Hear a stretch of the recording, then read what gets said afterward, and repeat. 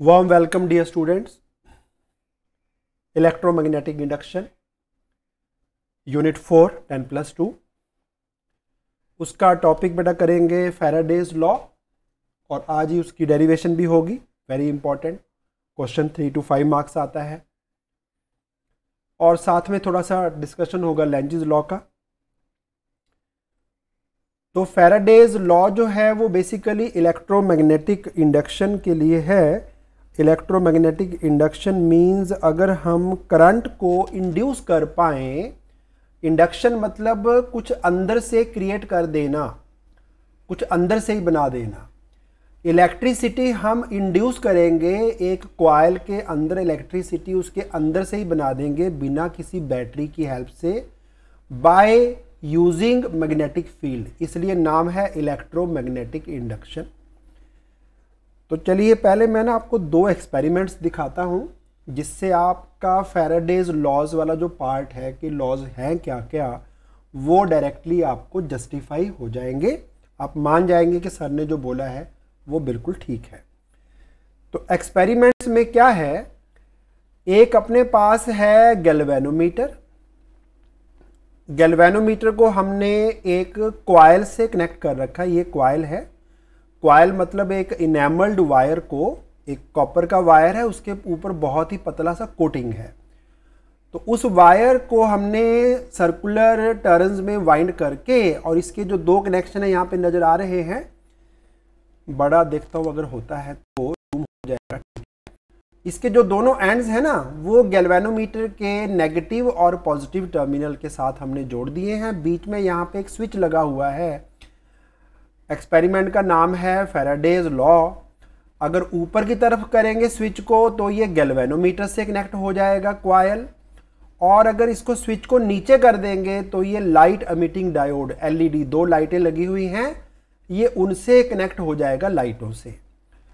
सो so, और ये जो येलो कलर का नज़र आ रहा है पीस ये है बेटा एक मैग्नेट तो मैग्नेट को जब तक हमने क्वायल के विद रिस्पेक्ट टू स्टेशनरी रखा उतनी देर यहाँ पे कोई डिफ्लेक्शन नहीं आया।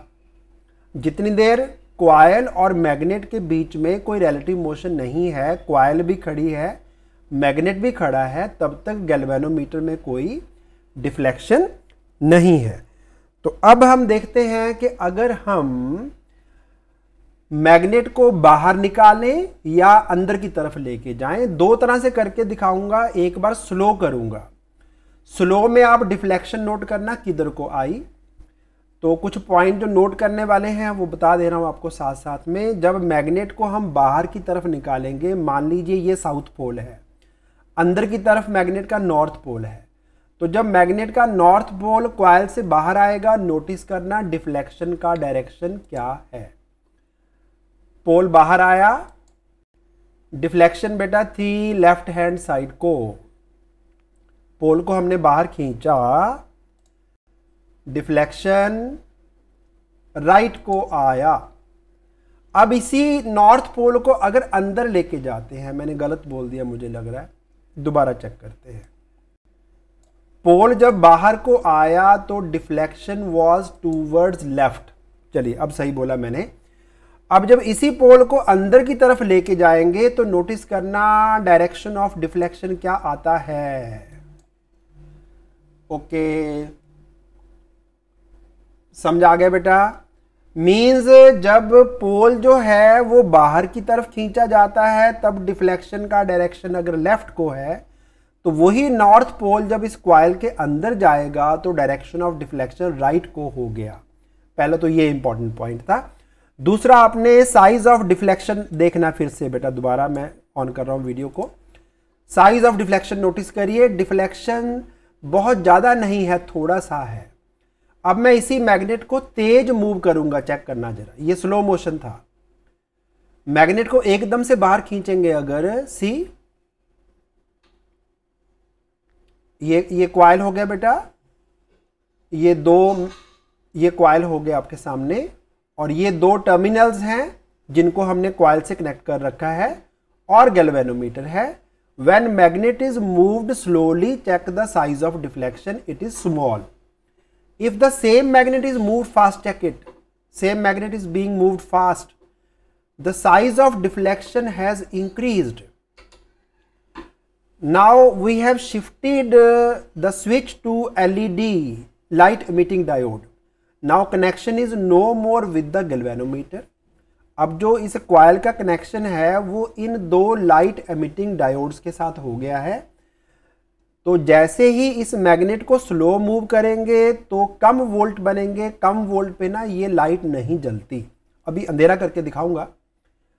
और अगर हम इस मैग्नेट को फास्ट मूव करेंगे तो इनमें से एक में लाइट जलेगी, एक में। रीजन बीइंग जो लाइट मीटिंग डायोड है ना उसमें एक खास डायरेक्शन में ही करंट चलना चाहिए। इसमें आपने नोटिस किया ना करंट बेटा अपोजिट डायरेक्शन में चल रहा था। मैग्नेट को अंदर को लेके गए तो डिफ्लेक्शन राइट को थी। बाहर को निकाला तो डिफ्लेक्शन लेफ़्ट को थी। तो करंट इसमें एक ही डायरेक्शन में बेटा लाइट ऑन होती है तो एक टाइम में एक एलईडी ही ऑन होगा। बट वो एक एलईडी ही क्यों चलेगा या एक ही डायरेक्शन ऑफ़ करंट क्यों चाहिए, वो हम डिस्कस करेंगे। अपने last chapter of ten plus two physics electronic devices में, अभी उसकी टेंशन मत लो। अभी सिर्फ़ ये देखो कि जब इस मैग्नेट को मैं स्लोली मूव करता हूँ तो डायोड में लाइट नहीं आती। अगर मैं इसको तेज मूव करूँगा तो इसमें लाइट आएगी। फिर मैं इसकी पोलैरिटी चेंज कर दूँगा, अभी नॉर्थ पोल नीचे है। अगर साउथ पोल नीचे कर देंगे बेटा, और सेम मोशन से, फिर करंट का जो डायरेक्शन है वो चेंज हो जाएगा, फिर ये वाला नहीं जलेगा बेटा, फिर ये वाला जलेगा। सो यू वुड नोटिस अगर हमने नॉर्थ पोल अंदर रखा हुआ, इसको मैग्नेट को सडनली हमने बाहर खींच लिया तो इनमें से एक डायोड ऑन होगा। अगर हम इसका पोलैरिटी रिवर्स कर देंगे मैग्नेट का तो फिर दूसरा डायोड ऑन हो जाएगा। तो अब चलते हैं, एक बार अंधेरा करते हैं पहले। डार्क हो गया। अब डार्क में क्योंकि लाइट तभी नज़र आएगी ना आपको, इसलिए अंधेरा कर दिया। देखते हैं अब क्या होता है।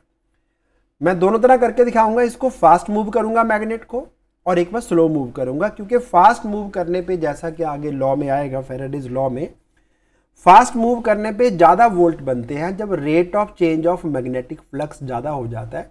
लास्ट लेक्चर में मैं मैग्नेटिक फ्लक्स के बारे में बता चुका हूँ। मैग्नेट जब पास होता है कॉयल के तो नंबर ऑफ़ फ़ील्ड लाइंस ज़्यादा होती हैं, जो कॉयल में से पास होती हैं। Number of magnetic field lines crossing the given area उसी को मैग्नेटिक फ्लक्स कहते हैं। जब हम मैग्नेट को दूर ले जाएँगे तो जो इसका फ़ील्ड है क्वाइल के पास, वो रिड्यूस हो जाएगा वीक पड़ जाएगा, क्योंकि मैग्नेट दूर चला गया, दूर से इफ़ेक्ट कम आएगा।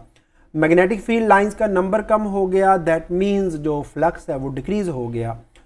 एंड अकॉर्डिंगली जो चेंज इन मैग्नेटिक फ्लक्स जब तक आता रहेगा वोल्ट बनते रहेंगे। हाँ अगर मैं मैग्नेट को फास्ट मूव करता हूँ, उस केस में जो rate of change of magnetic flux है, वो बहुत ज़्यादा होगा। तो वोल्ट भी ज़्यादा बनेंगे वोल्ट ज़्यादा बनेंगे तो लाइट अच्छी जलेगी। स्लो मूव करूँगा तो उतने वोल्ट बन ही नहीं पाएँगे कि लाइट ऑन हो जाए। चलिए वेरीफाई करते हैं एक्सपेरिमेंटली मैग्नेट को फास्ट मूव किया चेक करो। Magnet is being moved fast again see fast move किया, लाइट आई। अब स्लो मूव करके देखते हैं, स्लो मूव करने पे, अभी स्लो मूव करना है। देखो, स्लो मूव करने पे लाइट नहीं जली बेटा, क्योंकि अब उतने वोल्ट नहीं बन पाए जो लाइट को ऑन कर देंगे। सडनली मूव करेंगे तो लाइट ऑन होगी, पोलैरिटी चेंज कर देंगे मैग्नेट की तो दूसरी लाइट जो है, उसमें करंट का डायरेक्शन सही हो जाएगा जो चाहिए था हमें। सी हाँ वीडियो में थोड़ा सा एक फ्रेम रेट पर सेकंड का चक्कर होता है तो कई बार लाइट जो है ना, उस फ्रेम में नहीं आ पाती। यू वॉइस को मेरे ख्याल ज़्यादा पता होगा फ्रेम रेट पर सेकंड तो 25 है कि 30 है कि 60 है। हाँ 60 फ्रेम्स पर सेकंड पे बनाएँगे वीडियो तो फिर दोनों लाइट्स आपको एक बार ना, यहाँ पे मैंने मैग्नेट बाहर निकाल दिया बट लाइट आपको दिखी नहीं। कोई बात नहीं है, जब आप लॉकडाउन खुल जाएगा ना तो ये अपरेटस आपके हाथ में होगा। आप इसको खुद से करके देखना। जो नेकेड आई का फ्रेम रेट पर सेकंड है, उसका कोई मैच नहीं है, वही सबसे बढ़िया है। चलिए तो एक्सपेरिमेंट्स आपने देख लिए, अब हम आते हैं फेराडेज लॉस पे। तो पहला लॉ है whenever there is a change in magnetic flux linked with a circuit linked with the coil linked with the close loop connecting loop तो उसमें एक ईएमएफ e एक पोटेंशियल डिफरेंस डेवलप हो जाता है। और अगर सर्किट क्लोज हुआ तो एक करंट भी चलेगा। And that current is called induced current और ईएमएफ को बोलते हैं induced EMF so law goes like this whenever there is a change in magnetic flux linked with a circuit, an EMF coil भी लिख सकते हैं आप एन EMF और एक इंड्यूस करंट जो है सर्किट में चलेगा. लेकिन आपने ये भी देखा कि अगर मैग्नेट को हम स्टॉप कर दें, यानी कि फ्लक्स में चेंज आना बंद हो जाए तो वो पॉइंटर नहीं चलता. कुछ चीज़ें होती हैं ना, जैसे आपने बेटा एक तवा जो है चपाती बनाने वाला गर्म कर लिया। तो ऐसा तो नहीं कि गैस बंद करते हुए ठंडा हो जाता है। तो उसका जो हीट है, वो बाद में भी काफ़ी देर तक रहता है। यहाँ पे ऐसा नहीं है। जैसे ही मैग्नेटिक फ्लक्स का चेंज आना बंद हुआ इंड्यूस्ड ईएमएफ इंड्यूस करंट दोनों गायब हो जाएँगे। तो यही है सेकंड लॉ इंड्यूस्ड ईएमएफ जो है it would last only as long as the magnetic flux is changing magnetic flux में चेंज आना बंद हो गया तो बेटा इंड्यूस्ड ईएमएफ और सर्किट अगर क्लोज्ड है तो इंड्यूस करंट दोनों बंद हो जाएँगे।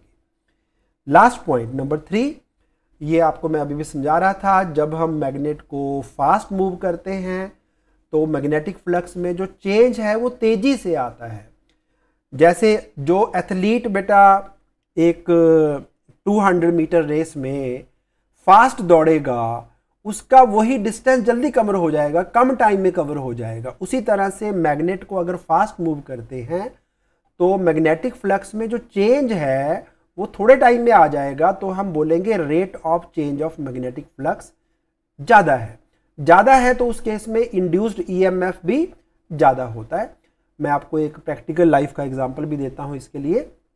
जो अपना स्कूटर का एक्सेलरेटर है स्कूटर का मोटरसाइकिल का कह लो स्कूटर मोटरसाइकिल वाला एग्जांपल इसलिए दे रहा हूँ कि कोई स्कूटर की, मोटरसाइकिल की जो हेडलाइट है, वो जलती है due to induced EMF produced by the coils in the generator scooter में भी एक क्वाइल का सेट लगा हुआ है और जब स्कूटर का इंजन स्टार्ट कर देते हैं तो उसके साइड में एक पंखा सा जो घूमता है, उस पंखे के नीचे कुछ मैग्नेट्स लगे हुए हैं। तो वो मैग्नेट्स क्वाइल के पास से मूव करते हैं और मैग्नेटिक फ्लक्स को चेंज करते हैं। लेकिन अगर हम स्कूटर का एक्सेलरेटर घुमा दें, उसके R P M revolutions per minute अगर बढ़ जाते हैं तो मैग्नेटिक फ्लक्स जल्दी जल्दी चेंज होगा। तो आप में से बहुत सारे बच्चों ने ये ऑब्ज़र्व किया होगा कि अगर हम स्कूटर का एक्सेलरेटर घुमाएँ, उसके आरपीएम इंक्रीज कर दें तो rate of change of magnetic flux बढ़ने से ज़्यादा वोल्ट बनेंगे और स्कूटर की जो हेडलाइट है मोटरसाइकिल की हेडलाइट वो ब्राइट हो जाती है। ये बहुत सारे बच्चों ने एक्सपीरियंस किया हुआ है। Which is proof for my third law that magnitude of induced E M F ज़्यादा वोल्ट होंगे तो करंट भी ज़्यादा जाएगा, ज़्यादा करंट जाएगा तो बेटा पावर ज़्यादा मिलेगी बल्ब को is directly proportional to rate of change of magnetic flux तो ये तीन तो हो गए लॉस और लास्ट वाले को हम मैथमेटिकली लिखते हैं अब और इसी को आज हमने डराइव भी करना है। तो induced EMF is directly proportional to rate of change of magnetic flux कई बार यहाँ पे बुक्स में ना बी लिखा होता है फाइव बी मतलब मैग्नेटिक फ्लक्स क्योंकि पीछे हम डिस्कस कर चुके हैं इलेक्ट्रिक फ्लक्स ऑल्सो ओके ये माइनस साइन क्यों आया? अभी समझाता हूँ, उसके लिए एक और लॉ है कॉल्ड लेंजिस लॉ तो कॉन्स्टेंट ऑफ़ प्रोपोर्शनलिटी के आएगा, लेकिन ये सारे पैरामीटर्स चेक करने के बाद इट वाज फाउंड कि जो के की वैल्यू है, वो वन रहती है। के turns out to be one तो आप सीधा लिखेंगे induced M F equal to minus D five by D T मान लो फ्लक्स फाइव वन से इंक्रीज होके फाइव टू हो गया in a time duration of T तो डायरेक्टली भी लिख सकते हैं बेटा। आगे माइनस साइन लगाना है। माइनस साइन का रीज़न आपको बताया। That is due to Lenz's rule अभी समझा रहा हूँ कि लेंजिस रूल क्या है। ओके okay, के का वैल्यू जो है और के का यूनिट जो है हमने ये बाकी जो है ना ई एम एफ़ फ्लक्स और टाइम इनका यूनिट जो है वो कुछ ऐसे चूज़ किया ताकि के का वैल्यू वन आ जाए। तो के का वैल्यू इन फ्यूचर हमें नहीं यूज़ करना के को वन पुट कर देना है। चलिए, अब लैंजिस लॉ पे आते हैं। और लैंजिस लॉ का जो बेसिक पर्पस है, वो है कि direction of induced EMF induce current किधर को होगा। चलिए तो एक काम करते हैं, ये बेटा एक मैग्नेट है, मैंने डायग्राम नोइंगली थ्री डिमेंशन बनाया है। आप भी जब नोट डाउन करेंगे तो इसको थ्री ही नोट करेंगे। इस तरफ़ आपने जो फेस है विजिबल दिखाना मैग्नेट का और इस तरफ़ वाला फेस जो है, वो छुप जाएगा, वो नहीं दिखेगा। और ये आपके पास एक कंडक्टिंग रिंग है। रिंग का ये जो लाइटर साइड है, ये आपकी तरफ़ है, हमारी तरफ़। और ये जो ब्लैक वाला पोर्शन है, ये पिछली तरफ़ है। ओके इधर से बेटा हमने ऑब्ज़र्व करना शुरू किया। ये एन क्यों लिखा हो, बताता हूँ, अभी समझाता हूँ बेटा आपको। जब ये magnet towards the loop move करता है। मैग्नेट गया टूवर्ड्स द लूप तो बेटा दो पॉसिबिलिटीज़ हैं। देखो, ये तो पक्का हो गया कि करंट चलना है। अगर तो बेटा करंट चला इस डायरेक्शन में सपोज़ कर लेते हैं अभी कि करंट ऐसे चला। दो ही पॉसिबिलिटीज हैं, या इस बंदे को पूछें कि करंट किधर को चला तो ये बोलेगा कि करंट भाई मुझे दिखा, ये क्लॉकवाइज डायरेक्शन में चल रहा है। ऐसे दिखेगा इस बंदे को। अगर मैं ऐसा करंट मार्क कर दूँ क्लॉकवाइज करंट से अगर हम राइट हैंड रूल यूज़ करें राइट हैंड की जो फिंगर्स हैं, उनको हम रखें करंट के अलोंग और जो थंब है, वो दिखाएगा आपको डायरेक्शन ऑफ़ मैग्नेटिक फ़ील्ड और मैग्नेट के पोल्स भी बताएगा कि ये जो इलेक्ट्रिक सॉरी मैग्नेटिक डाईपोल है, इसका नॉर्थ पोल किधर बनेगा। करंट चल रहा है बेटा, ऐसे करंट को आपने राइट हैंड की फिंगर से ये नेल हो गए फिंगर से दिखाना है। तो थंब जो है वो डायरेक्शन ऑफ़ नॉर्थ पोल दिखाएगा तो बेटा इस साइड बना नॉर्थ और इधर बन गया बेटा साउथ तो सोचने की बात है बेटा, अगर इधर साउथ पोल बन गया, ये नॉर्थ और साउथ तो अट्रैक्ट करेंगे। अट्रैक्ट करेंगे तो ये मैग्नेट खुद ही खींचा चला जाएगा। तो ये तो अच्छी बात हो गई बेटा मैग्नेट खुद ही खींचा चला गया और बेटा करंट भी बन रहा है उससे। तो ये रिंग जो है, ये मैग्नेट को खुद ही खींच रहा है। उसके कारण करंट भी बन रहा है।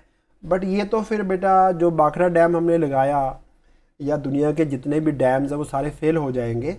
फिर तो आपको अपने घर की बिजली, घर का एसी चलाना है तो कुछ नहीं करना। आपको एक रिंग चाहिए और एक मैग्नेट चाहिए। मैग्नेट को बेटा थोड़ा सा पुश मार के छोड़ देना। आगे ये रिंग अपने आप खींच लेगा, बिजली भी बना के देगा एसी भी चलाएगा, सब कुछ चलेगा। तो बिजली बेटा फ्री की नहीं है। हमें उसका बिल पे करना है। रीज़न इलेक्ट्रिसिटी ऐसे नहीं बनती, अपने आप नहीं बनती। ये जो कंजर्वेशन ऑफ़ एनर्जी वाला लॉ है, वो तो फेल हो जाएगा। वेरी सिंपल एनर्जी अपने आप बननी शुरू हो गई। बेटा, फिर हमें कोल की ज़रूरत नहीं पड़ेगी, फिर इलेक्ट्रिकल ट्रेन को हमने बिजली देनी क्यों है? हम उसमें भी ऐसा ही एक सिस्टम लगाएँगे, एक मैग्नेट लेंगे और एक कॉयल लेंगे। वो ट्रेन अपनी बिजली खुद बनाएगी, खुद ही चलती रहेगी। कोई पैसा देने की ज़रूरत नहीं है, टिकट लगेगा नहीं नहीं। ओके सो ये जो हमने ड्रॉ किया, ये गलत है, यानी करंट का डायरेक्शन ये नहीं होगा। तो दैट मीन्स दो ही डायरेक्शन पॉसिबल है, इससे उल्टा होगा। उल्टा होगा तो मैंने ड्रॉ किया था इधर से देखने पे क्लॉकवाइज तो एक्चुअल में ये इधर से देखने पे दिखेगा एंटी क्लॉकवाइज करंट का डायरेक्शन ऐसे रहेगा। तो करंट का डायरेक्शन ऐसे रहेगा, मैंने पहले यहाँ पे साउथ पोल दिखा दिया था तो यहाँ पे एक्चुअल में नॉर्थ पोल बनेगा और इधर बेटा साउथ पोल बनेगा। यानी यूँ कहो कि इस बंदे को दिखेगा कि यहाँ पे नॉर्थ पोल बन रहा है। तो नॉर्थ का लिखेंगे आप एन और एन के दोनों साइड पे ड्रॉ कर देंगे एरो और वो जो एरो जिधर को बेटा पॉइंट कर रहे हैं, वही है डायरेक्शन ऑफ़ इंड्यूस करंट तो बेसिकली इस मैग्नेट के मोशन को, चाहे ये मैग्नेट इस लूप के पास में आए, चाहे इससे दूर जाए, इस मैग्नेट के मोशन को इंड्यूस्ड करंट ने अपोज करना है। मतलब चलने से रोकना है। अगर मैग्नेट पास में आ रहा है तो यहाँ पे नॉर्थ पोल बन जाएगा ताकि इसको रिपल्शन मिले। और अगर मैग्नेट इससे दूर जाएगा, वो भी अभी अभी आपने देखा ना, जब मैग्नेट बेटा क्वाइल के अंदर को जा रहा था, तब डिफ्लेक्शन जो है वो आई लेफ़्ट हैंड साइड को, जब हमने मैग्नेट को बाहर की तरफ़ खींचा पिछले वीडियो में, जिनको डाउट है दोबारा फिर पीछे करके देख लेना। जब मैग्नेट को हमने बाहर खींचा तो डिफ्लेक्शन जो है वो हो गई राइट हैंड साइड को, यानी डिफ्लेक्शन का डायरेक्शन रिवर्स हो रहा था। तो जब मैग्नेट पास आएगा तो यहाँ पे नॉर्थ पोल बनेगा। यही मैग्नेट अगर दूर जाएगा, इस मैग्नेट को हम इस लूप से दूर खींचें। दूर खींचें तो बेटा ये इसको पीछे जाने से भी रोकता है। पीछे जाने से कैसे रोकेगा? नॉर्थ पोल को यहाँ पे एक साउथ पोल डेवलप हो जाएगा। वो इसको मैग्नेट को अट्रैक्ट करेगा। जैसे फ्रिक्शन होती है ना, एक बॉक्स को हमने अगर एक सरफेस पे रखा, अगर आप इधर को पुश करना चाहते हैं तो फ्रिक्शन बेटा लेफ़्ट हैंड साइड को हो जाती है। इसी बॉक्स को अगर आप अपनी तरफ़ पुल करेंगे लेफ़्ट को तो बेटा बॉक्स पे फ्रिक्शन जो है वो राइट को हो जाती है, उसी तरह से है। इस मैग्नेट की मोशन को जो इंड्यूस्ड करंट है, उसने अपोज करना है। दोबारा फिर देख लो बेटा एक बार। जब ये मैग्नेट पास आएगा तो यहाँ पे एक नॉर्थ पोल बन जाना, इसकी मोशन को रिपेल करेगा, आने से रोकेगा इसको। यही मैग्नेट जब हम रिंग से लूप से बाहर खींचते हैं तो नॉर्थ पोल को पीछे जाने से रोकता है attraction of a south pole developed. तो यहाँ पे आपने एस लिख देना है और एस के बेटा दोनों साइड पे एरो ड्रॉ कर दीजिए, वो डायरेक्शन ऑफ़ इंड्यूस करंट होगा। तो यहाँ पे एरो इधर को आ रहा है, यहाँ पे एरो ऊपर को जा रहा है। तो ये हो गया direction of induce current so जैसे ही magnet towards a loop move करेगा या away from a loop move करेगा तो आपने मैग्नेट की मोशन को अपोज करने के लिए जो भी पोल बनना चाहिए, वो पोल वहाँ पे डेवलप कर देना और उसका पोल का एन या एस जो भी लिखोगे ना, उसके दोनों एंड्स पे एरो मार्क कर देना। सीधा सीधा आ जाएगा डायरेक्शन ऑफ़ इंड्यूस्ड करंट एक केस और करके देखते हैं। मान लो यहाँ पे साउथ पोल होता बेटा नॉर्थ की जगह। फिर इस पर्सन को पूछें कि बताओ भाई करंट किधर को इंड्यूस होगा? तो साउथ जब पास आएगा तो पास आने से रोकना है। साउथ को पास आने से रोकेगा, साउथ पोल रिपेल करेगा। तो एस डाल देना यहाँ पे। तो करंट का डायरेक्शन एस के जो एरो है ना, उधर को होगा, यानी कि ऐसे होगा। ऐसे होगा मीन्स अगर मैं यहाँ से देखूँगा तो मुझे करंट दिखेगा क्लॉकवाइज डायरेक्शन में। दोबारा फिर एक बार बोल रहा हूँ रिमाइंडर दे देता हूँ। गैल्वेनोमीटर बाहर की साइड है, हमारी साइड है। ये जो साइड है, ये बैक साइड है। ब्लैक वाली बैक साइड पीछे और ये वाली साइड आगे हमारी तरफ़ है। ओके तो अगर साउथ पोल जाएगा बेटा, साउथ इसके पास तो यहाँ पे एक साउथ पोल बन जाना है और डायरेक्शन ऑफ़ इंड्यूस करंट इधर से जो दिखेगा वो क्लॉकवाइज डायरेक्शन में दिखेगा। अगेन अगर इस साउथ को हम पीछे खींचेंगे तो साउथ को बेटा पीछे जाने से रोकेगा नॉर्थ पोल उसको अट्रैक्ट करेगा। तो एन के अलॉन्ग बेटा एरोज मार्क कर देना। तो यहाँ से देखने पे यही करंट जो है वो आपको दिखेगा एंटी क्लॉकवाइज डायरेक्शन में। तो थोड़ा सा आईक्यू अपना यूज़ करना है। सोचो कि आप यहाँ से देख रहे हो तो आपको कैसे दिखेगा? तो करंट दिखेगा एंटी क्लॉकवाइज डायरेक्शन में। सो so, यही अपना है लेंजिज लॉ लेंजिज लॉ का स्टेटमेंट यही है कि जो इंड्यूस्ड करंट है इंड्यूस्ड ईएमएफ जो डेवलप होगा वो अपने कॉज को अपोज करता है। यानी जिस कारण से ये वोल्टेज ये करंट इंड्यूस हो रहा था, उसका जो रीज़न है, यानी कि मैग्नेट का मोशन है यहाँ पे तो उसको ये जो इंड्यूस करंट है, वो अपोज करता है, उसको चलने से रोकेगा मैग्नेट को। दैट इज़ लेंजिज लॉ तो अब लॉ पे आते हैं, ये सारे डायग्राम्स ना, मैं एक काम करता हूँ, आप ना ये नॉर्थ ये जो मैग्नेट है, इसको थोड़ा सा पीछे शिफ्ट करके ड्रॉ कर देना। ये वाला ठीक बना हुआ है। यहाँ पे आपने पीछे खींचा था इन मैग्नेट्स को पीछे करके ड्रॉ कर देना वीडियो को पॉज करके। इन मैग्नेट्स को आपने आगे को पुश किया था। बंदा आप यहाँ पे अगर नहीं शक्ल बना पाते ड्राइंग अच्छी नहीं है तो यहाँ पे ऑब्जर्वर लिख लेना बस, बहुत है। ताकि आपको जब पढ़ेंगे नोट्स दोबारा देखेंगे, देखो हर बार वीडियो तो नहीं देखोगे ना तो आपको नोट्स देख के समझ आना चाहिए कि क्या क्या सर ने बताया था। तो ये मैग्नेट दोनों, क्योंकि मैंने तो एनिमेशन किया था तो ये मैग्नेट मूव करके यहाँ से यहाँ आ गया है। आप इस मैग्नेट को लेफ़्ट हैंड साइड पे ड्रॉ करके एरो दे देना राइट हैंड साइड को।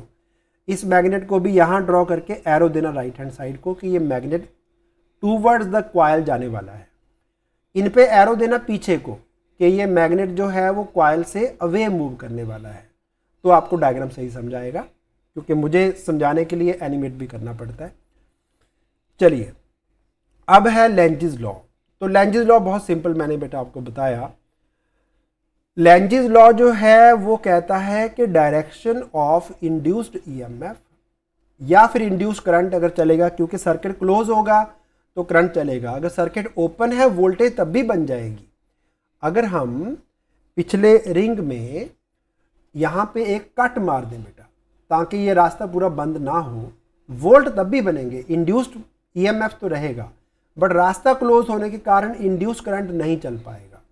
तो करंट चलने के लिए सर्किट मस्ट बी क्लोज्ड तो ये कहता है direction of induced EMF induced EMF तो बनना ही बनना है।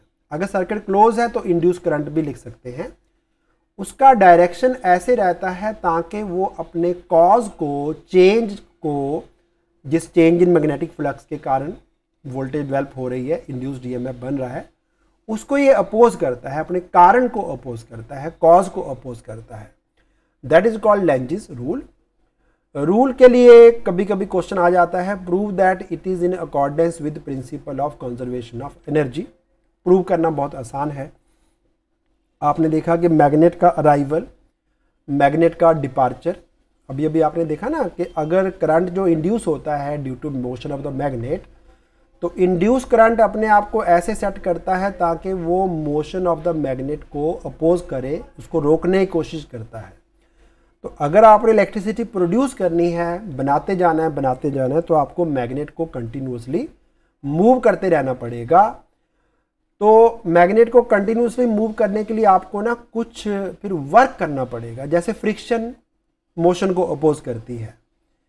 अपोज करती है तो फिर फ्रिक्शन को ओवरकम करने के लिए you would have to do some work ये अभी बाद में बताऊँगा कि प्राइमरी क्वाइल जो है सेकेंडरी क्वाइल क्या है। ये इस पॉइंट पे बाद में आते हैं। अभी मैं आपको सिर्फ़ बताता हूँ कि इसका प्रूफ क्या है कि लेंजिस लॉ जो है वो in accordance with principle of energy work करता है। एक आगे जाके और टॉपिक आएगा। अभी लाइन आप नोट कर लो। बाद में समझ आएगा प्राइमरी क्वाइल सेकेंडरी क्वाइल क्या होती है। ओके ये डायग्राम ड्रॉ करेंगे बेटा। ये डायग्राम वैसे थ्री डिमेंशनल डायग्राम है but being drawn in two dimensional plane काफ़ी सारे बुक्स ने ना एक कन्वेंशन यूज़ की है, क्योंकि हमें पता नहीं चलता कि कौन सा पार्ट हमारी साइड पे है और कौन सा पार्ट बैक साइड में है। तो यहाँ पे सिचुएशन को सही समझने के लिए जो डॉटेड लाइन है डॉटेड लाइन वो पिछली साइड है और फ्रंट में आपकी साइड पे ये थिक लाइन है। थिक हमारी साइड पे डॉटेड पिछली साइड पे बेटा। तो जब मैग्नेट को पास लेके आएँगे क्वाइल के तो करंट चलेगा अगर ऊपर से देखेंगे इन एंटी क्लॉकवाइज डायरेक्शन ऊपर से देखेंगे तो। यहाँ से देखेंगे ऑब्जर्वर अगर ऊपर होगा तो करंट का डायरेक्शन होगा एंटी क्लॉकवाइज और इसी नॉर्थ पोल को अगर मैं पीछे खींचता हूँ तो उस केस में करंट का डायरेक्शन रिवर्स हो जाएगा। तो वही राइट हैंड रख के देखेंगे जब आप ड्रॉ भी कर देता हूँ थोड़ा सा, जैसा बनता है माउस से। राइट हैंड की फिंगर्स को आप रखेंगे along the direction of current ये बेटा मैंने फिंगर्स ड्रॉ कर दी, ये आपके नेल हो गए राइट हैंड और थंब जो है वो ऊपर की ओर पॉइंट करेगा, समझ गए होंगे? राइट हैंड का। कुछ ऐसा बनेगा। करंट जो है ऊपर से देखने पे एंटी क्लॉकवाइज डायरेक्शन में है। मैंने करंट के अलोंग कर दिया फिंगर्स को। तो थंब जो है वो नॉर्थ पोल को दिखाता है। तो नॉर्थ पोल बने, बनेगा ऊपर की साइड। यहाँ पे करंट हो चुका है उल्टा। करंट इधर को चला तो बेटा ऊपर साउथ पोल बनेगा। तो मैग्नेट जब नीचे आ रहा था, तब ये नॉर्थ नॉर्थ रिपेल करेंगे। मैग्नेट का नीचे को आना अपोज होगा। जब इस मैग्नेट को पीछे लेके जाएँगे वापस तो यहाँ पे साउथ पोल बन जाएगा। साउथ पोल इस नॉर्थ पोल को नीचे खींचेगा, यानी कि जाने से रोकेगा। तो मैग्नेट का आना, मैग्नेट का जाना, दोनों अपोज हो रहे हैं। तो जब मैग्नेट पास आएगा तो क्वाइल और मैग्नेट एक दूसरे को रिपेल करते हैं। When magnet moves away from the coil there is an attraction उसको भी अपोज करता है induce current so whether we have to bring the magnet closer to the coil और we have to take it away in both cases motion of the magnet is oppose जैसे friction चाहे बेटा आप cycle को school को लेके जाए, चाहे स्कूल से घर को वापस आए, फ्रिक्शन ने आपको दोनों बार अपोज करना है। दोनों बार आपको वर्क करना पड़ेगा और दोनों बार आपको एनर्जी स्पेंड करनी पड़ेगी। सो इलेक्ट्रिकल करंट बनाने के लिए मैकेनिकल वर्क करना पड़ता है। यानी कि मैकेनिकल एनर्जी दो और electrical energy low. So which is basically conversion of mechanical energy into electrical energy इसीलिए वही तो बेटा लॉ ऑफ़ एनर्जी कंजर्वेशन जो है, उसका लॉ यही तो है ना। एनर्जी नई जनरेट नहीं कर सकते। एनर्जी को एक फॉर्म से दूसरी फॉर्म में कन्वर्ट कर सकते हैं। तो यहाँ पे यही हो रहा है। मैकेनिकल वर्क आपको करना पड़ रहा है। मैकेनिकल एनर्जी आप स्पेंड करोगे मैग्नेट को ऊपर नीचे ऊपर नीचे करने के लिए। तभी गैल्वेनोमीटर में कंटिन्यूस करंट आएगा। तो मैकेनिकल एनर्जी स्पेंड करो इलेक्ट्रिकल एनर्जी ले लो। एनर्जी को एक फॉर्म से दूसरी फॉर्म में कन्वर्ट करना पड़ेगा। इन्हीं मैग्नेट्स को मूव करने के लिए बाखरा डैम पे जो पानी में पोटेंशियल एनर्जी स्टोर है, उसको कैनेटिक एनर्जी में चेंज करते हैं। कैनेटिक एनर्जी से वो मैग्नेट्स हैं, उनको मूव करेंगे ताकि करंट बने। So we need some energy mechanical energy तभी वो इलेक्ट्रिकल में चेंज होगी। तो स्कूटर मोटरसाइकिल में जो इंजन है, वो एनर्जी देता है मैकेनिकल उसको हम इलेक्ट्रिकल में चेंज कर लेते हैं। या फिर साइकिल में भी किसी किसी ने डायनमो लगा रखा होता है। जो आर्मी वाले बंदे हैं, उनको पता होगा, किसी किसी के पास शायद होगा। साइकिल पे एक लाइट लगी होती है और उसमें एक डायनमो लगा होता है।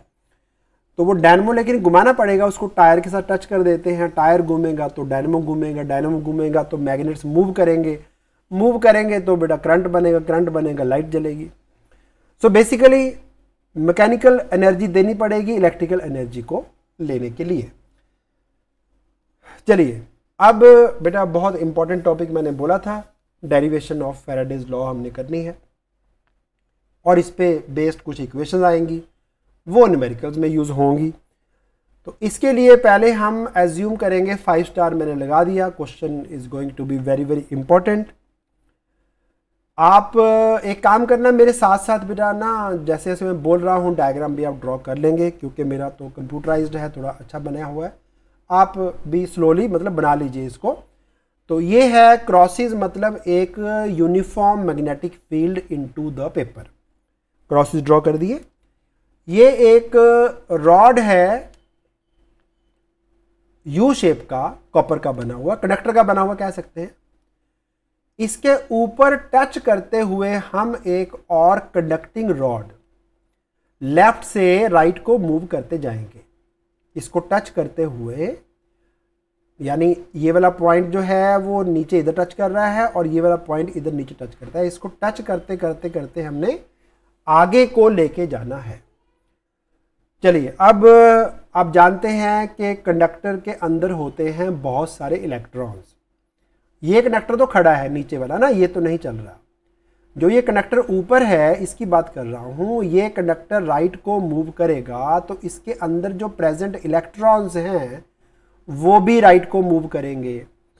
तो ज़रा सोच के बताइए कि अगर एक कंडक्टर के इलेक्ट्रॉन्स राइट हैंड साइड को मूव करेंगे, मैं दोबारा दिखा रहा हूँ प्रॉपरली नेगेटिव चार्ज है इलेक्ट्रॉन्स है इसके अंदर उनको हम वेलोसिटी v से अगर राइट हैंड साइड को लेके जाएँ और मैग्नेटिक फ़ील्ड है इनटू द पेपर तो आप अब लगाइए फ्लेमिंग्स लेफ़्ट हैंड रूल अपना फोर फिंगर स्क्रीन के तरफ़ अंदर को पॉइंट करिए। फोर फिंगर को अंदर को पॉइंट करो।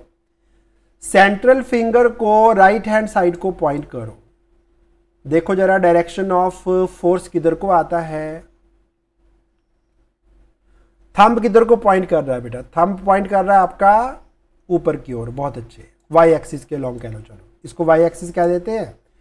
इसको हम एक्स एक्सिस कह देते हैं। वेलोसिटी एक्स एक्सिस के अलोंग है।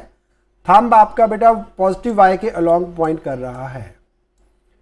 ओके okay, अब जरा ध्यान से सुनो। मैंने आपको बार बार बोला जो थंब से ना फोर्स निकलता है वो निकलता है पॉजिटिव चार्ज पे। अगर इलेक्ट्रॉन्स की जगह पे ना कोई पॉजिटिव चार्ज प्रोटॉन मूव करता ना राइट हैंड साइड को तो जो फोर्स है वो अपवर्ड्स आनी थी थंब के अलोंग बट हमने यहाँ पे इलेक्ट्रॉन्स की बात करनी है। इलेक्ट्रॉन पे चार्ज है नेगेटिव तो इलेक्ट्रॉन पे जो फोर्स है वो आएगा नेगेटिव वाई के अलोंग यानी कि डाउनवर्ड डायरेक्शन में। दोबारा फिर समझो।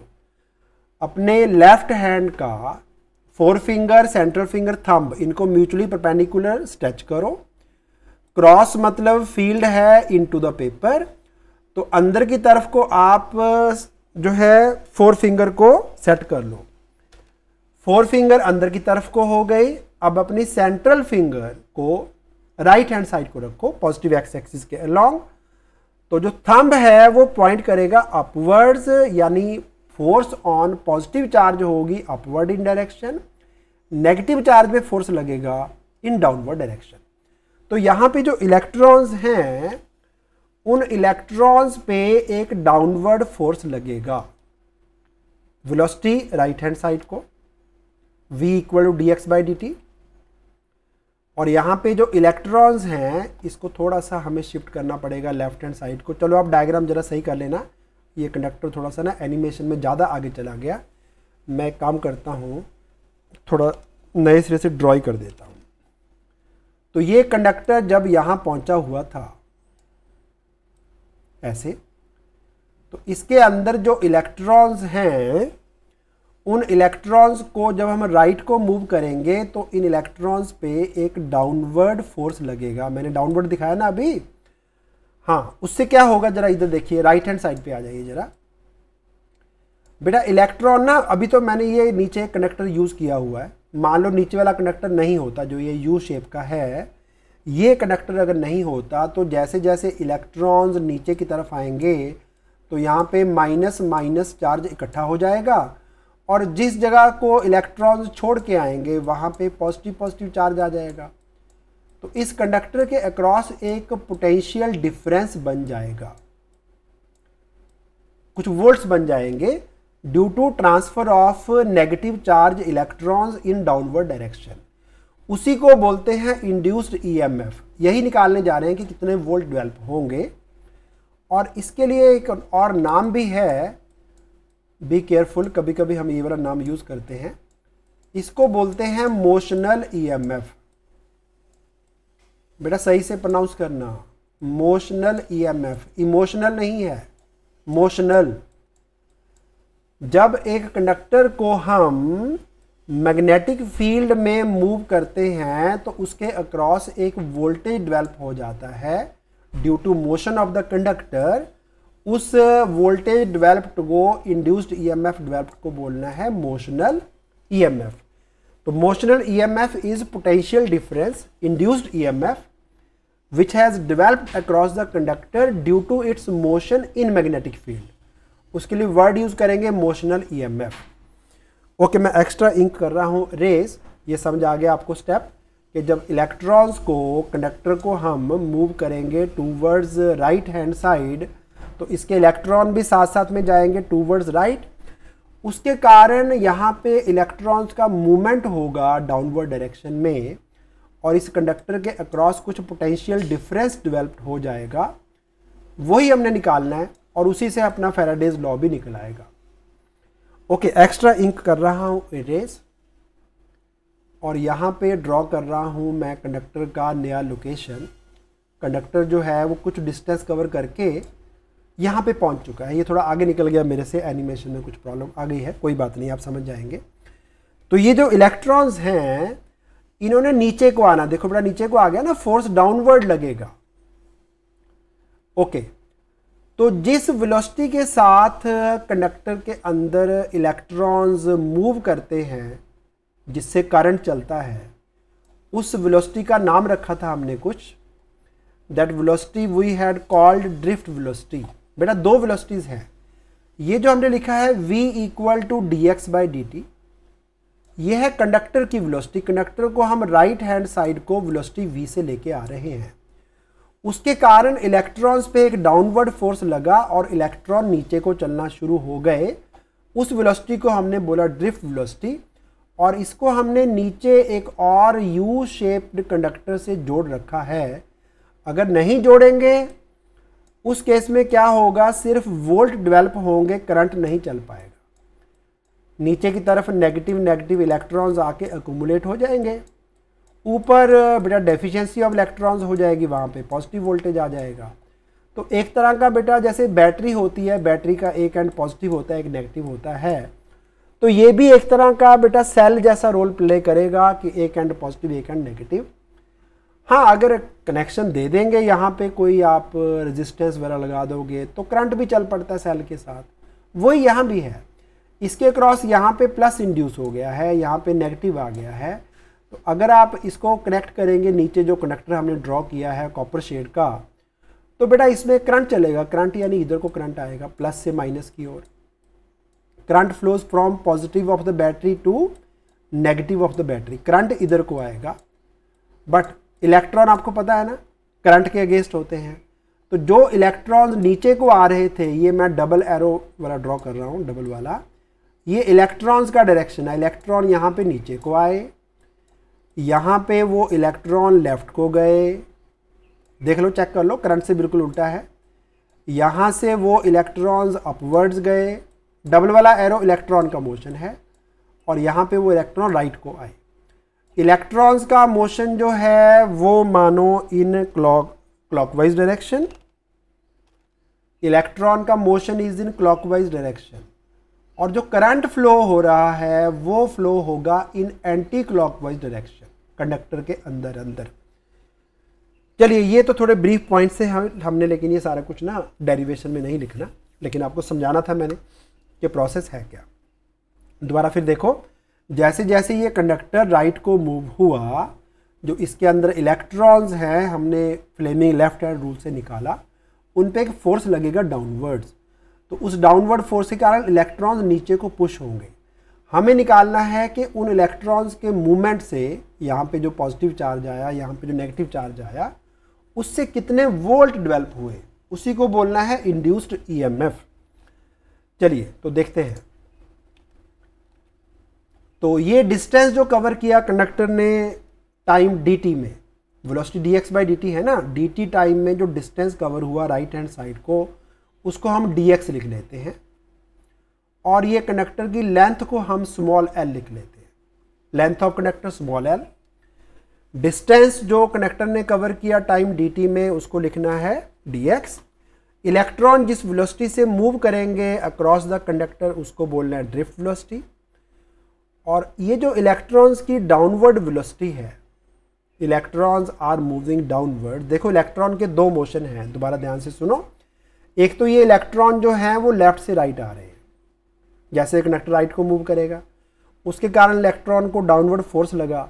फोर्स लगा तो नीचे को उनको एक मोशन मिल गया। उस मोशन के कारण करंट चल रहा है और उस करंट कैरिंग स्पीड को हम बोलते हैं ड्रिफ्ट वेलोसिटी अब एक मोशन क्योंकि नीचे को भी शुरू हो गया इलेक्ट्रॉन का। डाउनवर्ड जो मोशन शुरू हुआ, उसके कारण फोर्स किधर लगेगा? ध्यान से देखो फिर से। फोर फिंगर बेटा सेट करो अंदर की तरफ़। Crosses means magnetic field into central finger को सेट करो downwards along negative Y axis check करो जरा। थंब किधर को पॉइंट कर रहा है? राइट हैंड साइड को। बहुत अच्छे बेटा। Forefinger into the paper into the screen central finger downwards along the direction of drift velocity thumb point कर रहा है लेफ़्ट हैंड का राइट हैंड साइड को। बट वो होता है फोर्स ऑन पॉजिटिव चार्ज हमारा चार्ज है नेगेटिव तो हमारा फोर्स राइट को ना लग के लेफ़्ट को लगेगा। कितना लगेगा? उसके लिए लॉरेंस फॉर्मूला था। क्यू वी क्रॉस बी तो क्यू यानी इलेक्ट्रॉन का चार्ज ई वेलोसिटी इलेक्ट्रॉन की drift velocity V D into magnetic field B into यहाँ पे साइन थीटा भी होता है बेटा। बट साइन थीटा चेक करेंगे मैग्नेटिक फ़ील्ड है इनटू द पेपर वेलोसिटी है डाउनवर्ड्स तो इन दोनों में मैग्नेटिक फ़ील्ड में और वेलोसिटी में कितना एंगल 90 डिग्री तो यहाँ पे साइन 90 भी आएगा साइन 90 इक्वल टू वन तो जो बैकवर्ड फोर्स लगी इलेक्ट्रॉन पे फोर्सेस दो हैं, एक फोर्स थी जब कंडक्टर राइट को मूव हुआ तो इलेक्ट्रॉन्स को एक डाउनवर्ड फोर्स लगा, उससे इलेक्ट्रॉन नीचे जाने लग गया। उस वेलोसिटी को हमने ड्रिफ्ट वेलोसिटी लिख दिया। ड्रिफ्ट वेलोसिटी से जब इलेक्ट्रॉन नीचे आया तो फ्लेमिंग लेफ़्ट हैंड रूल से हमने निकाला कि एक फोर्स और लगेगा इलेक्ट्रॉन पे पीछे की ओर। तो ये तो एक इलेक्ट्रॉन था। इलेक्ट्रॉन लेकिन एक नहीं है। द नंबर जो है, वो तो जाता है एवोगेड्रो नंबर के साइज़ का। इलेक्ट्रॉन बहुत सारे हैं। सभी पे पीछे पीछे पीछे पीछे फोर्स लगेगा। तो वही अभी हम लेंजेस रूल की बात कर रहे थे। कंडक्टर को राइट हैंड साइड को हम खींचना चाहते हैं। जो इंड्यूस्ड करंट है, उसके कारण एक फोर्स पीछे को डेवलप हो गया। तो वो फोर्स कंडक्टर को चलने से रोकेगा और उसी के अगेंस्ट हमने फोर्स लगाना है, यानी मैकेनिकल वर्क करना है, ताकि इलेक्ट्रिकल एनर्जी बनती रहे। ये तो एक इलेक्ट्रॉन पे फोर्स है ना पीछे को, ऐसे बहुत सारे इलेक्ट्रॉन्स हैं। हर एक पे फोर्स पीछे को पीछे को पीछे को लगेगा। उन सभी फोर्सेस को ओवरकम करने के लिए हमें आगे को फोर्स अप्लाई करना पड़ेगा, ताकि इस कंडक्टर को हम चलता रख सकें। ओके अब आते हैं पोटेंशियल डिफरेंस निकालना है। धीरे धीरे चलूँगा डेरिवेशन में बेटा बहुत सारे पॉइंट्स हैं। सिंपल हैं, और वीडियो इसलिए रिकॉर्ड किया जा रहा है ताकि आप दोबारा इसको फिर से जितनी मर्ज़ी बार चाहें कर सके। Video is very very important और इसकी अंडरस्टैंडिंग भी बहुत ज़रूरी है। इस पर बेस्ड कुछ न्यूमेरिकल्स आएँगे। फॉर्मूले सिंपल हैं, बिल्कुल फॉर्मूले तंग नहीं करेंगे आपको। डेरिवेशन में आपको दो बार Faraday's sorry sorry Fleming's left hand rule use करना पड़ गया। ओके तो स्टार्ट करते हैं बेटा।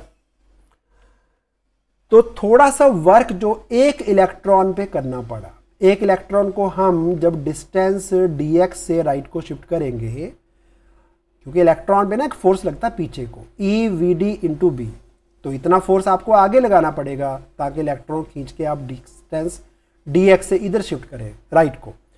तो आपने जो फोर्स लगाना है, जैसे बेटा ग्रेविटी का फोर्स होता है ना, एक ऑब्जेक्ट पे एम जी नीचे को तो अगर आपने ऑब्जेक्ट ऊपर खींचना है तो आप ऊपर को फोर्स एम जी लगाओगे, अगर उसको कांस्टेंट स्पीड पे खींचना है तो। तो इतना ही फोर्स आपको राइट हैंड साइड को आगे लगाना है, वो फोर्स आ गया। फोर्स को डिस्प्लेसमेंट से मल्टीप्लाई कर दिया, वर्क आ गया। अब यहाँ पे एक छोटा सा स्टेप है। हमने इसको वीडी को, ड्रिफ्ट वेलोसिटी को, ड्रिफ्ट वेलोसिटी थी across the length of the conductor length को हमने एल लिखा था। तो पूरा डिस्टेंस एल को तो एल लिखेंगे, लेकिन छोटे से डिस्टेंस को डी एल लिख देंगे। तो डी एल डिस्टेंस जो है, उसको कवर करने में अगर टाइम डी टी लगा तो ड्रिफ्ट वेलोसिटी को हम D L by D T लिखेंगे drift velocity equal to small distance cover D L divide by D T okay अब ट्रिक यहाँ पे ये है कि आपने ना डी टी को राइट हैंड साइड पे डी एक्स के नीचे शिफ्ट कर देना है। देखो जरा, ये डी टी उठा के हम इधर ले गए। डी एक्स डिस्टेंस कवर हुआ था ड्यूरे ड्यूरिंग टाइम डी टी और D X by D T को क्या लिखा हुआ है हमने? वेरी नाइस वी लिखा हुआ है। तो इसको मैंने वी डाल दिया। तो ये थोड़ा सा वर्क आ गया जो कि एक इलेक्ट्रॉन को डिस्टेंस एक्स कवर कराने में हुआ। बट चेक करिए आप डी एक्स जो है वो यहाँ पे एल बन चुका है। यानी कि डिस्टेंस एल कवर करने में across the length of conductor छोटा सा लेंथ एल कवर करने में कितना वर्क हुआ, वो बन गया बेटा ये। अब आपको याद है chapter electrostatics EMF potential difference का डेफिनेशन था potential difference between two points is work done in shifting one coulomb charge from one point to another तो हमने देखना है कि इलेक्ट्रॉन को डिस्टेंस dx के लिए तो dl के लिए तो वर्क करना पड़ा E B V D L अगर पूरी लेंथ कवर करानी होती कंडक्टर की तो कितना वर्क करना पड़ता? उसके लिए इसको बेटा इंटीग्रेट कर दीजिए। इंटीग्रेशन में ई e बाहर आएगा मैग्नेटिक फ़ील्ड यूनिफॉर्म है वो भी बाहर आएगा, इसको कांस्टेंट वेलोसिटी से हमने राइट हैंड साइड को लेके आना है, वो भी बाहर आ जाएगा। तो सिर्फ़ D L D L integration याद है ना आपको? इंटीग्रेशन मीन्स एडिशन तो हमें ये वाला डी एल ये वाला डी एल ये वाला डी एल ये D L D L D L सारे हमें ऐड करने हैं। तो ई बी वी आ गया बाहर D L D L add किया वेरी सिंपल एल निकल आया। कोई लंबा चौड़ा काम नहीं है, कोई वैक्टर्स नहीं है बस एक फ्लेमिंग्स लेफ़्ट हैंड रूल दो बार अप्लाई करना है। वर्क जो इस इलेक्ट्रॉन को डिस्टेंस डीएक्स में शिफ्ट करने के लिए करना पड़ा, फोर्स इनटू डिस्प्लेसमेंट। ट्रिक हमने क्या अप्लाई किया? ड्रिफ्ट वेलोसिटी को हमने, क्योंकि ड्रिफ्ट वेलोसिटी जो है ना across the length of the conductor है। छोटा सा डिस्टेंस डी कवर करने में जो टाइम लगा वो डी था तो ड्रिफ्ट वेलोसिटी को एल बाई डी लिखा। डी को हमने शिफ्ट कर दिया डी के नीचे डी के नीचे।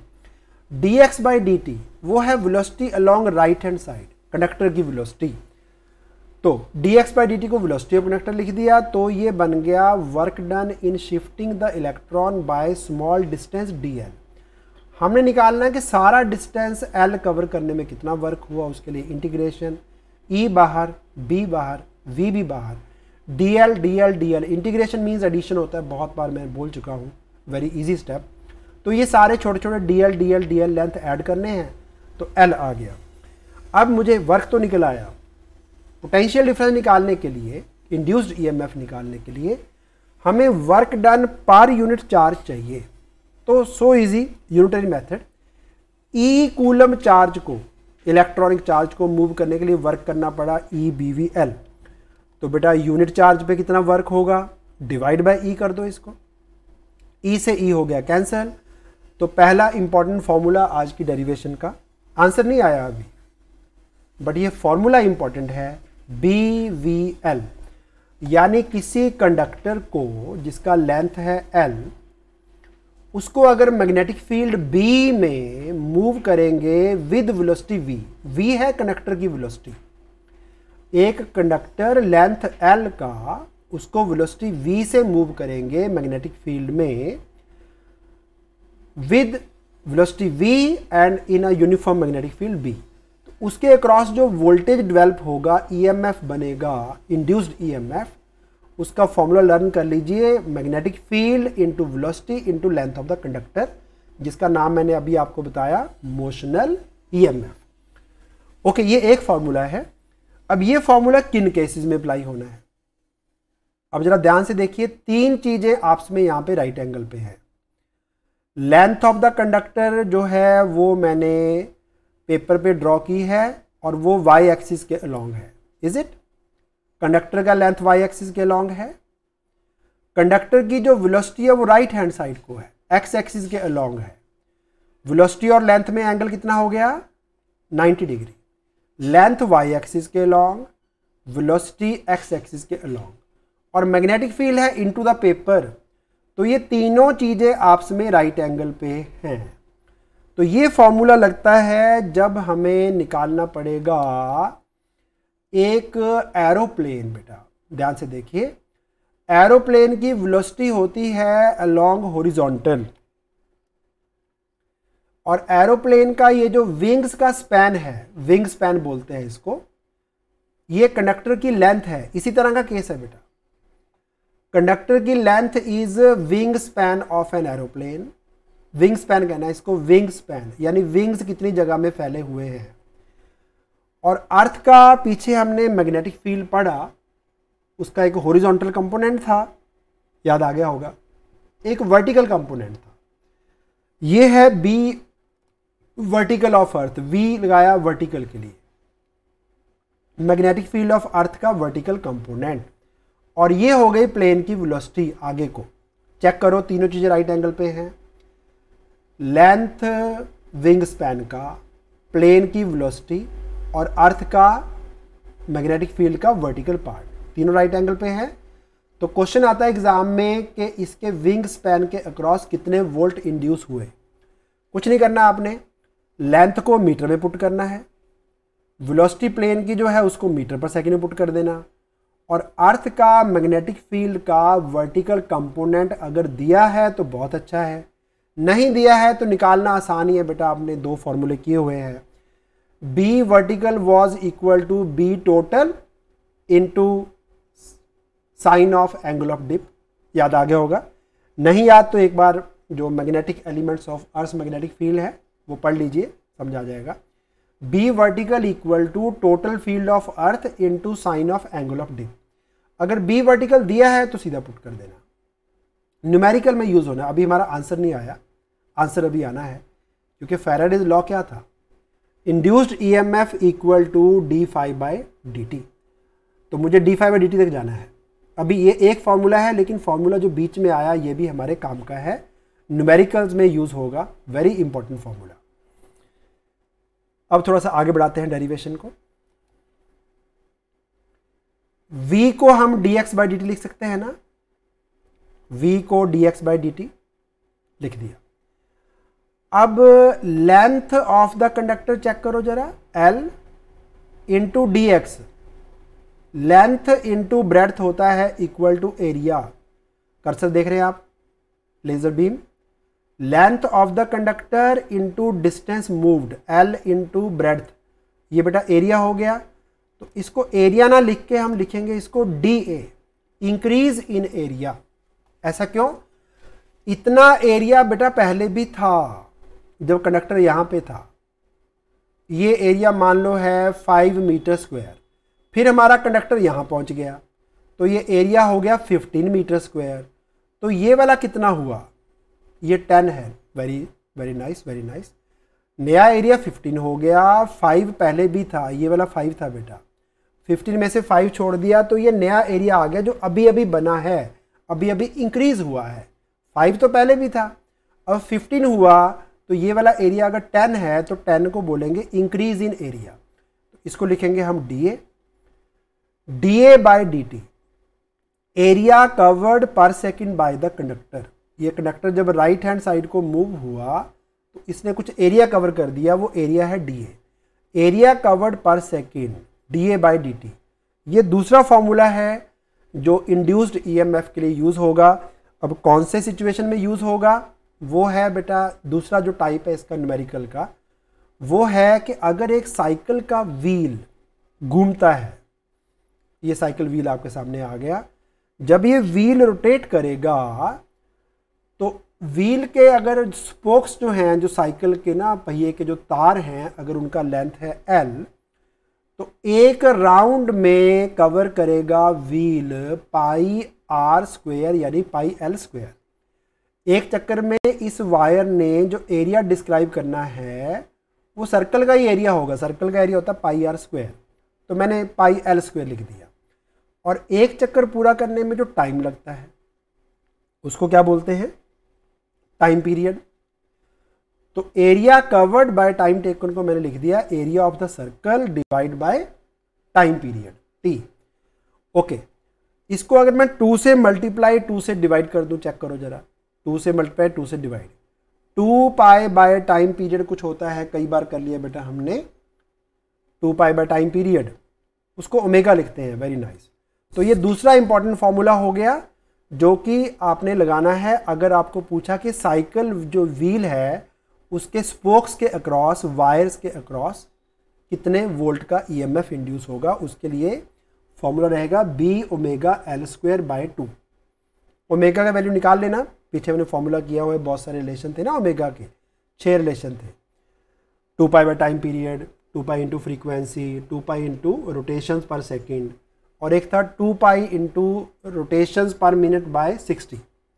उनमें से कोई भी लगाना ओमेगा आ जाएगा और स्पोक्स का लेंथ क्वेश्चन में दिया होगा, मैग्नेटिक फ़ील्ड का वैल्यू दिया होगा। फॉर्मूला याद है तो जस्ट वैल्यूज़ पुट करनी है, आंसर आ गया। अभी तक तो मैंने दो फॉर्मूले बता दिए वेरी इंपॉर्टेंट एरोप्लेन हो या कोई रॉड हो जो मैग्नेटिक फ़ील्ड में मूव कर रही है, उसके क्रॉस कितने वोल्ट इंड्यूस होंगे?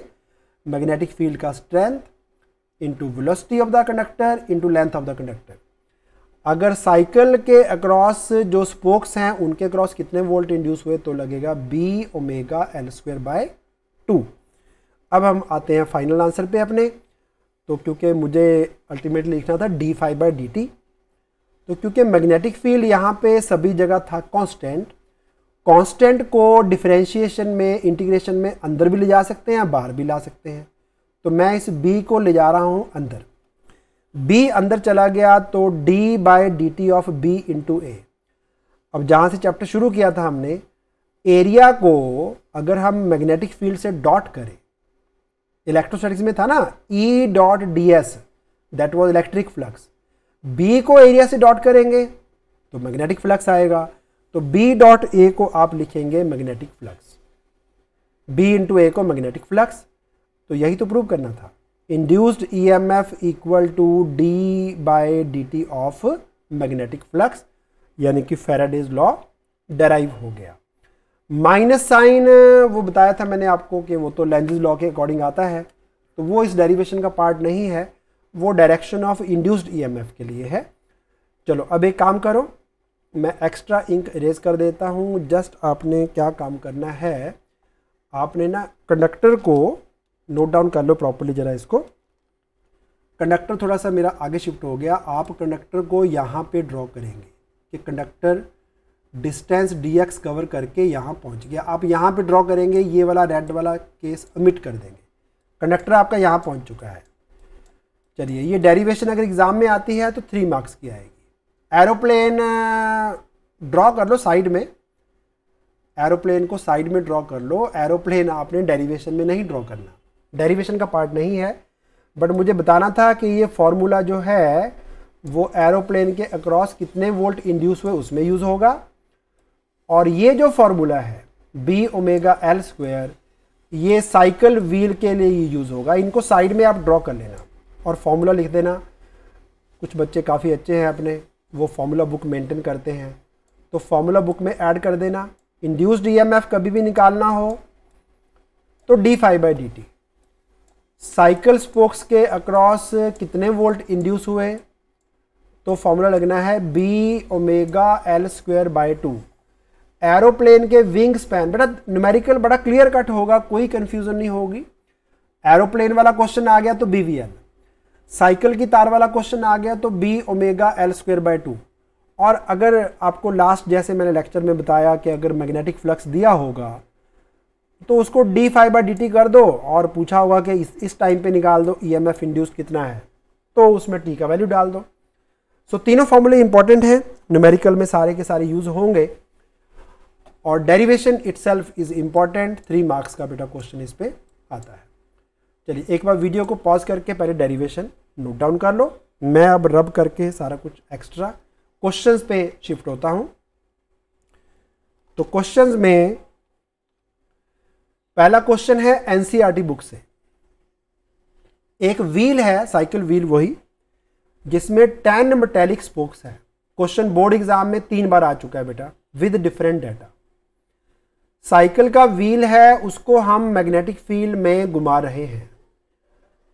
उसमें टेन वायर्स हैं और स्पोक्स की लेंथ है पॉइंट फाइव मीटर ईच उसको रोटेट किया 120 रिवोल्यूशन पर मिनट पे। 120 आरपीएम पे in a plane normal to horizontal component of earth magnetic field पीछे बताना भूल गया मैं। जो अर्थ जो मैग्नेटिक फ़ील्ड है ना, उसको कनेक्टर का जो मोशन है, वो राइट एंगल पे होना चाहिए। तो इसमें बेटा साइकिल का पहिया जब चलता है, आप जानते हैं, वो चलता है वर्टिकल प्लेन में। और अर्थ का जो हॉरिजॉन्टल कंपोनेंट है, वो साइकिल के प्लेन ऑफ़ मोशन को राइट एंगल पे होगा। जो साइकिल का व्हील है, उसका प्लेन तो आपका स्क्रीन है, जो आपको नज़र आ रहा है मोबाइल पे, कंप्यूटर पे। और फ़ील्ड मैंने ड्रॉ कर दिया इनटू द पेपर तो ये जो मैंने क्रॉसेस ड्रॉ किए, इनका डायरेक्शन बेसिकली अगर आप देखेंगे एक्चुअल में तो ये हॉरिजॉन्टल हो गया ना बेटा, देखो ज़रा। तो फ़ील्ड का डायरेक्शन जो है, वो हॉरिजॉन्टल है, वो आपको दिया हुआ है। अर्थ का horizontal field point four gauss but gauss जो है, वो ऐसा यूनिट नहीं है। उसको टेस्ला में चेंज करना पड़ेगा। उसके लिए क्वेश्चन में दिया हुआ है कि एक गॉस को ten power minus four tesla ले लो। स्पीड ओमेगा उसके लिए 120 रिवोल्यूशन पर मिनट स्पोक्स का लेंथ जिसको हमने एल लिखा था, वो 0.5 मीटर दिया हुआ है। नंबर ऑफ़ स्पोक्स मैटर नहीं करता बेटा। इसको आपने यूज़ नहीं करना, ये आंसर का पार्ट नहीं है। बस आपको लगाना है formula B omega L square by two by two मतलब हाफ़ अब बात बची कि ओमेगा का वैल्यू क्या आएगा। ओमेगा जो है, वो आपको बताया गया था रिवोल्यूशन पर मिनट से कैसे निकालना है। Two pi into revolution per minute R P M by sixty करना होता है बेटा। R P M by sixty. तो ये कैंसिल होगा बेटा टू पे, टू इंटू टू हो जाएगा फोर पाई तो ओमेगा का वैल्यू फोर पाई पुट कर दिया। मैग्नेटिक फ़ील्ड को पॉइंट फोर गॉस था ना पॉइंट फोर गॉस को टेस्ला बनाने के लिए इंटू टेन पर माइनस फोर जो एल का स्क्वायर करना था उसमें पॉइंट फाइव का स्क्वायर कर दिया। रेस्ट इज़ कैलकुलेशन वो सॉल्व कर लेना अपने आप। तो ये इंड्यूस्ड ईएमएफ आ गया एक वायर के अक्रॉस अब एक बार बोर्ड एग्ज़ाम में क्वेश्चन ये भी आया कि क्या नंबर ऑफ़ स्पोक्स मैटर करती हैं? एनसीईआरटी बुक में लिखा हुआ है, मैंने नहीं लिखा। ये सारा कुछ एनसीईआरटी बुक में ही है। मैंने तो व्हील ड्रॉ किया है बस सिर्फ़। या ओमेगा का वैल्यू निकाल के आपको दिखाया। तो एनसीआरटी बुक के अंदर लिखा हुआ है number of spokes is immaterial number of spokes are immaterial actually होगा क्या कि हर स्पोक पे ना सेंटर में मान लो पॉजिटिव चार्ज आना है और एंड पे आना है नेगेटिव चार्ज अगली स्पोक में भी सेंटर पे पॉजिटिव एंड पे नेगेटिव उसके अगली में भी सेंटर पे पॉजिटिव एंड में नेगेटिव तो बेटा अगर कई सारे सेल्स के प्लस प्लस प्लस इकट्ठे कर लोगे माइनस माइनस माइनस इकट्ठे कर लोगे उसको बोलते हैं पैरेलल कॉम्बिनेशन देखो ना, एक सेल लगा दिया बेटा, दूसरा सेल भी लगा दिया, तीसरा भी लगा दिया। इन सभी सेल्स का प्लस प्लस आपने एक ही जगह जोड़ दिया। माइनस माइनस एक ही जगह जोड़ दिया। तो पैरेलल कॉम्बिनेशन में क्या चीज़ सेम होता है? वोल्टेज तो बेटा, अगर एक सेल 5 वोल्ट का है ना तो ये कॉम्बिनेशन भी पूरा 5 वोल्ट का ही है। तो नंबर ऑफ़ सेल्स कितने लगाए, उससे कोई फ़र्क नहीं पड़ता। बेटा 5 वोल्ट ही रहेंगे। तो यहाँ पे हर जो स्पोक है, वो एक तरह का एक सेल है। तो हर स्पोक के अक्रॉस सेम वोल्टेज है। वो सभी वोल्टेज वोल्टेज जो है पैरेलल में लगे हुए हैं।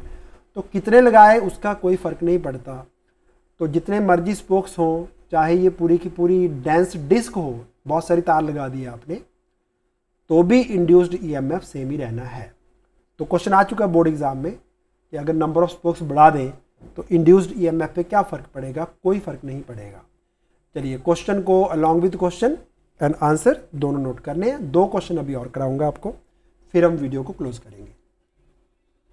दो क्वेश्चन और है बेटा। छोटे छोटे हैं नॉट बिग क्वेश्चन चलिए, आगे चलते हैं बेटा।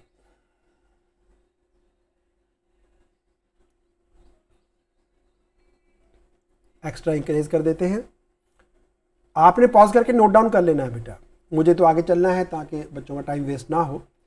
दो क्वेश्चन कराऊँगा, एक 2008 में आया, एक जेट प्लेन है जो कि वेस्ट की ओर जा रहा था 450 मीटर पर सेकंड से, बोर्ड एग्ज़ाम में आ चुका है 2008 में।